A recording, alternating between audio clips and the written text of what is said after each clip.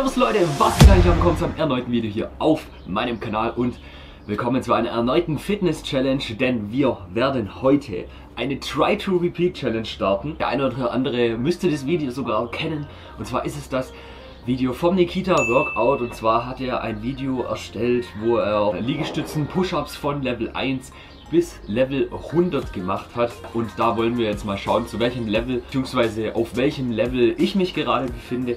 Ich werde auf jeden Fall heute mal wieder alles geben und ich habe mega Bock, dieses Video aufzunehmen. Ich fand es eine ziemlich nice Idee, mal da quasi so eine Reaction drauf zu machen und gleichzeitig das Ganze aber auch selber zu probieren. Und ja Leute, wenn euch das Ganze genauso gefällt wie mir, dann lasst mir auf jeden Fall jetzt mal eine positive Bewertung da, wenn ihr keine Videos mehr von mir verpassen wollt. Ein Abo da und ich würde sagen, wir reden gar nicht so lange drum rum. Ich werde mich jetzt ein bisschen aufwärmen und dann werden wir direkt mit dem Video starten. Leute, das ganze Video ist diesmal sogar in 4K, denn ich habe einen neuen Laptop und damit kann ich jetzt sogar 4K Aufnahmen flüssig bearbeiten. Das Ganze ist ziemlich geil.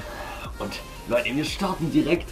Habe ich schon gesagt, dass ich motiviert bin. Äh, let's go. So Leute, damit wir die Motivation und die Kraft noch ein bisschen mehr steigern, gibt es hier einen Workout Booster von Roses. Mit dem Code JimDaniels könnt ihr 10% auf der Process-Seite sparen. Alle Produkte sind unten verlinkt. Ja, ist eine ziemlich geile Zusammenarbeit, würde ich mal sagen. Leute, es ist ziemlich kalt. Wir haben, glaube ich, irgendwie nur 4, 5 Grad. Aber wir werden das Ganze trotzdem durchziehen, denn ich habe einfach drin zu wenig Platz. Und ja Leute, dann würde ich sagen, gib ihm. Ich weiß gar nicht, ob das Ganze jetzt ein bisschen peinlich werden wird, weil ich halt einfach noch nicht ganz so weit in dem Bereich bin, weil ich habe mir das Video natürlich schon angeschaut und es ist wirklich sehr heftig. Also ich, vielleicht schaffe ich so bis zur Hälfte, Level 50 oder so, aber jetzt mal abwarten.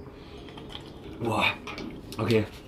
Wir haben Motivation, wir haben Energie. Jetzt noch die Handgelenkschützer dran und Handschuhe, weil der Boden auch ziemlich kalt ist. Jetzt auch ruhig Pussy Daniels in die Kommentare schreiben. Aber es ist wirklich arschkalt.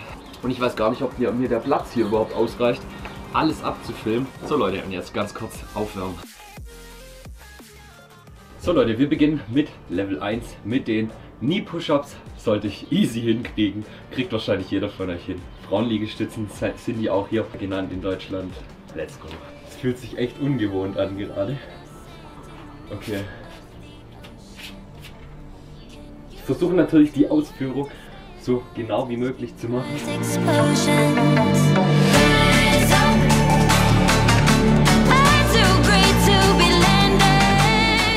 Weiter mit Level 3 und das sind die Regular Push-Ups, die ganz normalen Push-Ups, die jeder von euch kennt. So.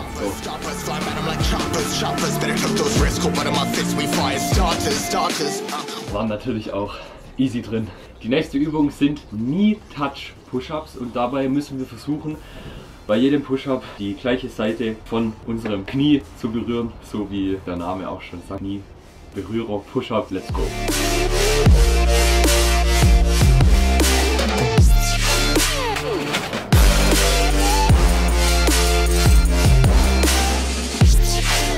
Okay, ich muss sagen, da hat man schon ein bisschen Balance gebraucht. Also die waren schon gar nicht mal so einfach.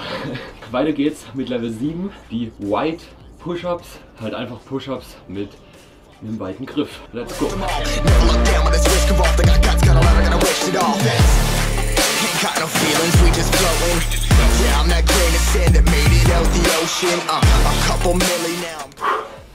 Okay Leute, das hat mich jetzt schon ordentlich angestrengt. Bin mal gespannt, was jetzt noch so für Übungen kommen werden. Ich habe es mir nicht so hart vorgestellt, sag das mal so, weil wir sind einfach noch nicht mal bei Level 10. So, Level 10, Diamond Push-Ups, die kenne ich, mache ich öfters im Training sogar. Sollten auf jeden Fall auch noch drin sein. Das ist jetzt halt einfach die Push-Ups mit engem Griff und hier so ein Diamant quasi Plattform auf dem Boden. Let's go!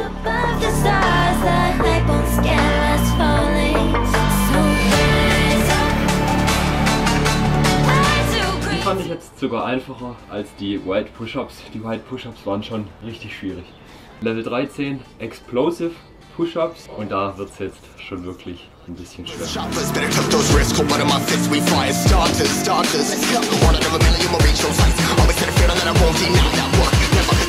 keine Ahnung, wie gut jetzt die Form aussah. Ich habe gar kein Gefühl, wie weit ich oben war oder irgendwie. Aber ich denke, ich habe es ganz ordentlich hinbekommen. Level 16 Arm-to-Shoulder Push-Up. Oh mein Gott.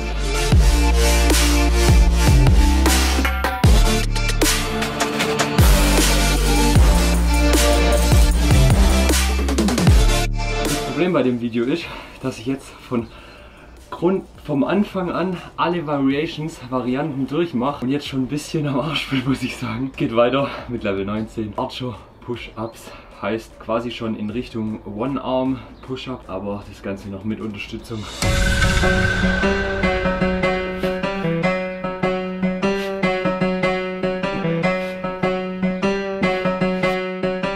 So Leute, Level 21, Planche, Lean, Push-Ups. Das wird jetzt schon Level Expert und wir sind einfach bei Level 20.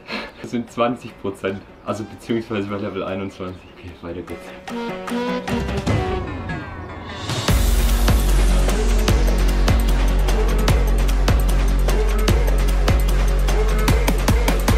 Form war wahrscheinlich richtig bad.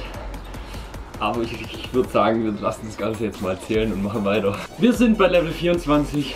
Clap Push-Ups und wir haben 25% geschafft. Ich bin auf jeden Fall schon mal ein bisschen stolz. naja, geht so.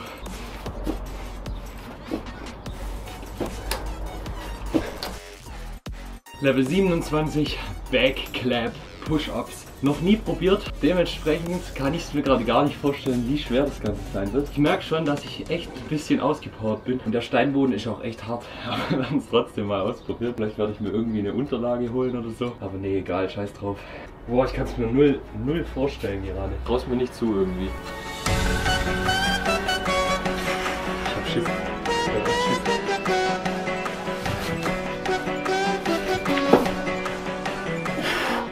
Okay Leute, es war keine gute Form und ich hatte extrem Schiss gerade. Aber wir machen weiter, weil irgendwie kriege ich das nicht hin. Ich habe einfach zu wenig Explosive Kraft und wenn ich hier auf den Steinboden mit der Nase knall, dann ist aus mit meiner Nase, würde ich mal so behaupten. Okay Leute, mit, mit Unterstützung könnt ihr das Ganze üben, halt wenn ihr einfach ein Bein dann kurz vornehmt, klatscht und wieder vor geht in Liegestützposition. Ich werde es in mein Training einbauen und mich natürlich weiterentwickeln. Aber wir schauen jetzt mal, was so die nächsten Levels sind. Ich hätte aber nicht gedacht, dass ich schon bei Level 27 einfach so ins Struggeln komme. So Leute, Level 32 ist der Double Clap Push-Up. Da ich jetzt schon beim Ein Clap, beim Back Clap quasi gescheitert bin, probieren wir das Ganze jetzt nicht aus. Weil wenn ich schon hier da Probleme hatte, dann schaffe ich natürlich nicht beim da runterkommen nochmal so einen Klatscher. Superman, da muss man jetzt einen Explosive Push-Up machen, sich komplett ausstrecken. Wir probieren es, aber ich werde wahrscheinlich nur quasi ins Fliegen kommen, aber nicht in diese Position, weil das mit dem Fliegen habe ich schon mal ausprobiert.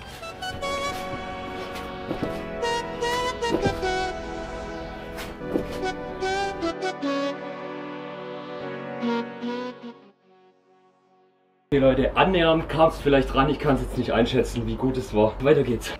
Somit wären wir bei Level 39 und das sind die Tuck Planche Push-Ups.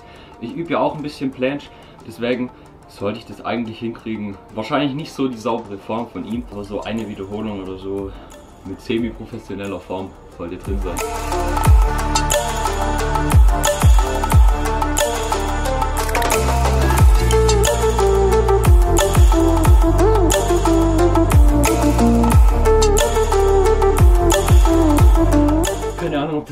Ob das jetzt besser sah, aussah, aber es war auf jeden Fall krass anstrengend. Leute, probiert mal das Ganze zu Hause aus und sagt mir, auf welchem Level ihr euch befindet. Wir sind jetzt schon bei Level 39 mit einem Skip.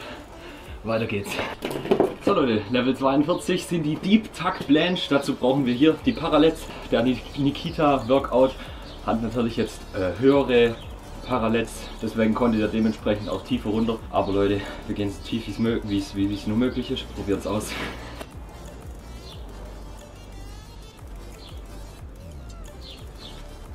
Eine Wiederholung war drin. Keine Ahnung, wie die Form aussah. Sehe ich nachher erst im Schnitt. Wahrscheinlich nicht so gut wie bei ihm. Er ist natürlich Level Expert.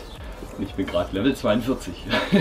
weiter geht's. Es geht weiter mit Level 45. Und das wären die Wall Handstand Push-Ups. Da ich hier jetzt keine freie Wand zur Verfügung habe, werde ich jetzt die Location wechseln und das Ganze im Fitness durchführen. Let's go!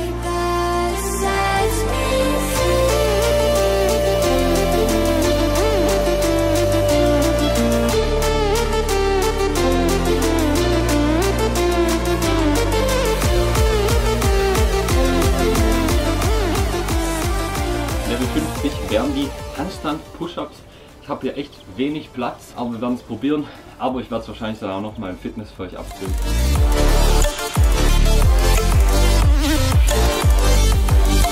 Leute, ich habe viel zu viel Schiss, dass ich hier irgendwie umkippe und gegen die Bande knall oder so und es einfach einen richtig lauten Schlag hier gibt. Ich bin hier in meiner Nachbarschaft und ich glaube, das würden die nicht so feiern und meine Mom sowieso nicht. Deswegen wechseln wir jetzt wirklich ins Fitness. Ich schaue mal, ob noch irgendeine Übung dabei ist, die man hier ausführen kann. Let's go.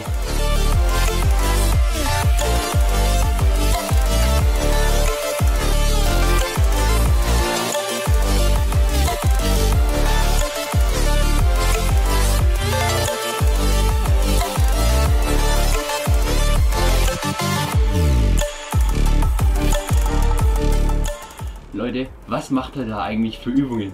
Junge, das ist ja, das ist ja nicht von dieser Welt, das ist nicht mehr normal. Alter, das ist so krank. Das. Okay, Leute, da komme ich im annähernd nicht mal ran. Aber Leute, bis Level 50, wir werden es im Gym probieren. Tuck Planche to Handstand werde ich dann wahrscheinlich nicht mehr schaffen. Alter, was ist denn die, was, dicker, krank, krank, einfach nur krank.